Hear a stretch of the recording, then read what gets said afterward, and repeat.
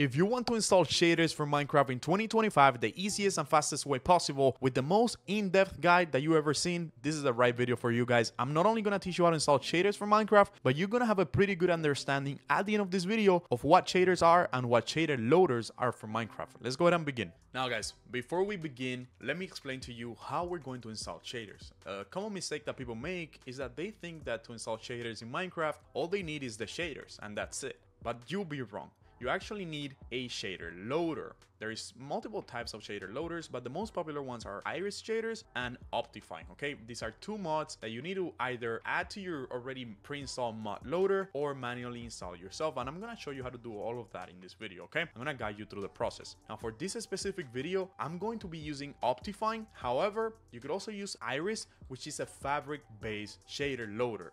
Fabric is a mod loader that allows you to add mods into the game, and then shader loaders are a mod that allows you to add shaders into the game. I hope that's not too confusing. And like I said, Iris is based on Fabric, and then Optifine is based on Forge, another mod loader, right? Now you don't have to worry about mod loaders in this video because we're not going to install the mod loader separately. We're actually going to install the shader loader by itself. So we're gonna play the game with no mods, just shaders okay? Now, if you want to install Optifine, like I'm going to do, click on the second link in the description that says Optifine, but if you want to install Iris, you could also do that and just follow along. It's pretty much the same steps, but instead of installing Optifine, you'll be installing Iris, okay? Now, let's go ahead and install Optifine first though, because that is the first step. You need Optifine in your computer to install shaders or Iris to install shaders, right? Some type of shader loader. Now, once you click on that second link, this is our written guide, very in-depth on how to do this, but I'm gonna make it super quick for you. Scroll down to step one, click on the Optifine button here, that is going to redirect you over here where you could either click on show all versions and download the version that you want for your game. Make sure that it is the version that you want for your Minecraft game. In this case, I'm going to be adding shaders to 1.21.4.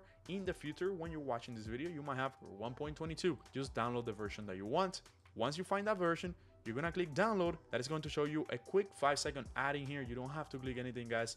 Just wait five seconds and after five seconds we're going to click on skip here on the top right of our screen right here and that is going to redirect you over here where we're finally going to hit that download button to begin the download of Optifine our shader installer. We need some type of shader I mean shader loader our shader loader installer because we do need some type of shader loader in our game Again, once you download that Optifine, go ahead and drag and drop it into your desktop. You're gonna find it here on your recent downloads history on your browser, or you could probably also find it in your default downloads folder on your PC. Now there we go, our file just downloaded. Let's go ahead and drag and drop it into our desktop. Now we have Optifine, and if you pay attention, Optifine is actually a jar file, meaning that that is a file that needs Java on your computer. And I want you to pay attention to the next part because it's pretty important before we go ahead and install Optifine. When I go ahead and double click on this file to install Optifine, if you don't have Java installed on your computer and not just any Java. Actually, you need Java 21 for any Minecraft above Minecraft 1.20.5. If you don't have that installed in your computer, this file won't open. So to install Java 21, I left the guide in the description, okay? Is gonna be in the description of this video. It's going to be labeled as Java 21, but it's pretty easy to install Java 21 because you will need it.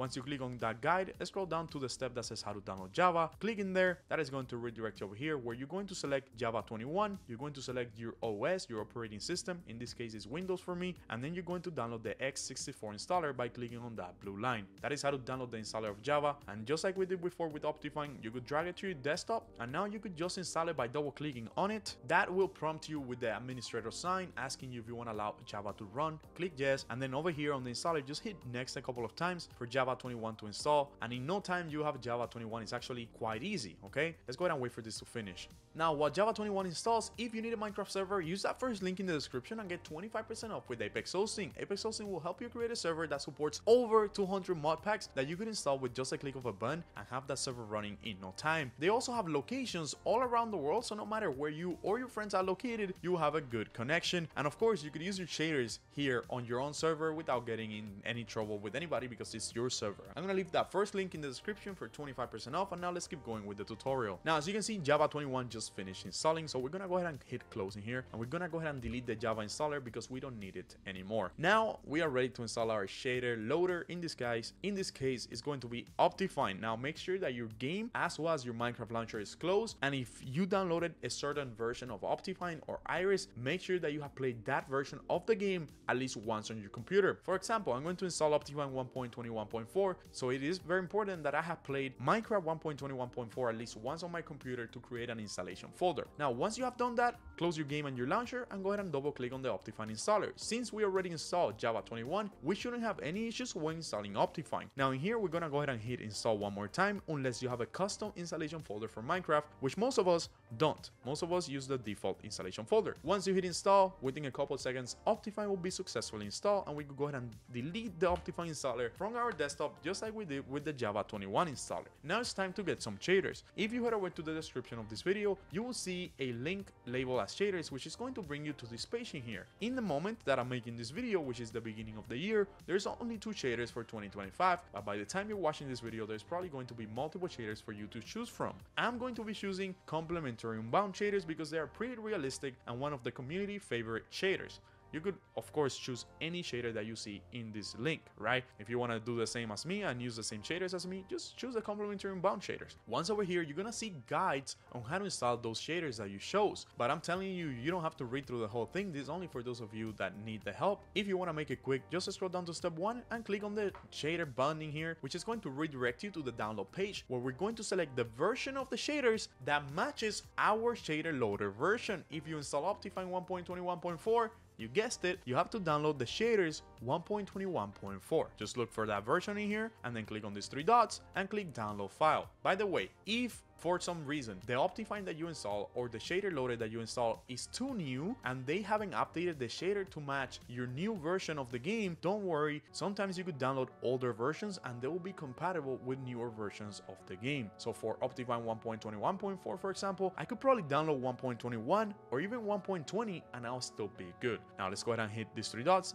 click download file and within 5 seconds our download will begin for our shaders of course. Now the shader is going to download as a zip file and it is very important that you keep it as a zip file. I've seen some people that they unzip the folder and you don't have to unzip the folder. You're gonna keep it as a zip file. You're gonna go ahead and drag and drop it into your desktop just like we did previously with the other files. Now, once we have the shaders in our desktop, let's go ahead and open our Minecraft launcher so I could teach you how to add these shaders into the game. Now, once your launcher opens, if you did everything correctly, you're gonna notice a different kind of Minecraft in here, which is your shader loader that you installed earlier. In my case, it's Optifine, but in yours, it could be Iris, which is totally fine. Some people actually prefer Iris over Optifine. Now, if you have the shader loaders in here, congratulations, you're following along pretty well. If you don't, just head over to installations and make sure that you have modded selected to be able to see all those modded versions of Minecraft. And if you still don't see the shader loader, just click on new installation and then on version, look for the shader loader that you install. In my case, it will be Optifine. So you will look for Optifine or Iris and then select it in there, name it whatever you want, and then just hit install here on the bottom. There we go.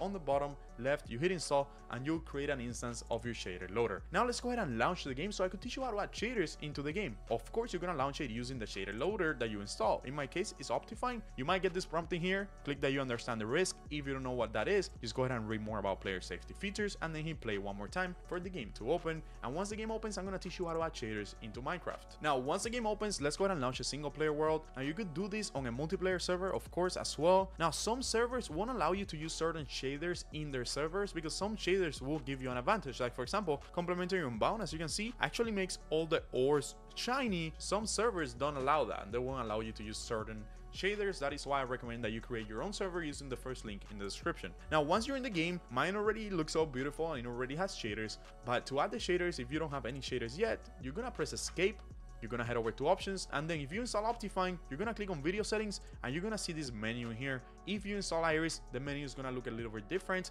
but no matter which one you install, you're gonna open the shaders option or the shader packs option.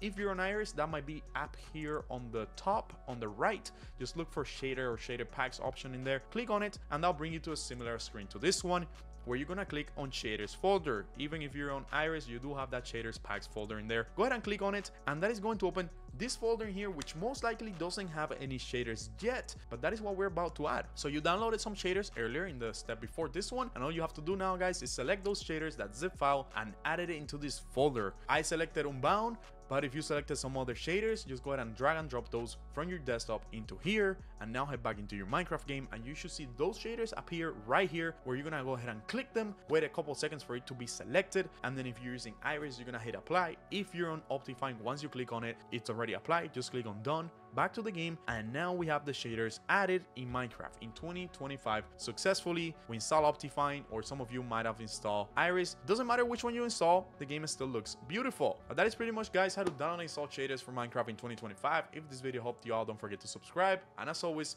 bye bye